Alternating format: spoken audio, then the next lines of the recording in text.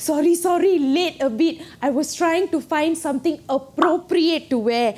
Couldn't find anything. So I wrapped myself in this sari lah. Must be decent what? You see that? People expect women to think 20 times before walking out of the house on whether or not what they are wearing is decent, modest, and appropriate. Cares whether or not we are comfortable or that the weather outside is so hot that I'm scared I will melt like milk chocolate if I'm covered from top to toe? No one tells men that their shirt is so tight we can see the size of their muscles. But God forbid we see the shape of my boobs and my hips, or worse, my cleavage. If you wear too little, you're a slut. If you're covered up, you're a pest. Pakai dress can see boobs. Pakai burka could be a terrorist. Pakai sari can see waist. Pakai shorts can see legs. Whatever we wear also wrong lah. Cannot win babi betul. Who decided that society has the right to tell women what to wear? Why should we listen to these man-made rules that infringe on our freedom of choice?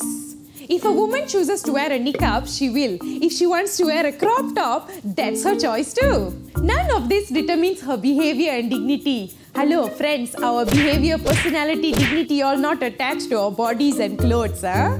You know, in some parts of the world, women are not allowed to go into government buildings or take public transportation if their face is covered. And then, in other parts of the world, women are not allowed to go outside if they are not covered from top to toe somehow uh, these dress codes, right, only applies to women. I don't see people saying men can't wear that, men can't wear this all. And then in the professional world, women are always told to dress properly. That blouse is cut too low. Don't wear such high heels. Why so much makeup? Be professional. Don't attract unwanted attention. Hmm. But if we walk out of the house with our old BJ clothes, then we are lazy. Who's going to look at you? Who's going to marry you? Women's lives are dictated by what the society deems appropriate. If we don't follow these rules, right? Wah, terus treat us macam tai. Because apparently they can decide on whether or not we are respectable based on what we wear. How we choose to look is our right. You wanna be on top? Wanna be on top?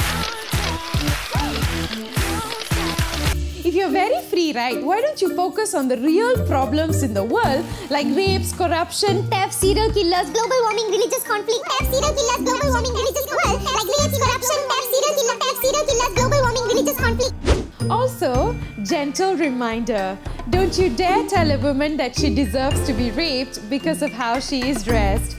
No one deserves to be raped. Bye. A little fun fact a lot of the female statues in Indian temples wear bikini like tops, and Indian women didn't used to wear blouses with their saris zaman dulu dulu. So please think twice before asking Indian women to dress traditionally. Peace.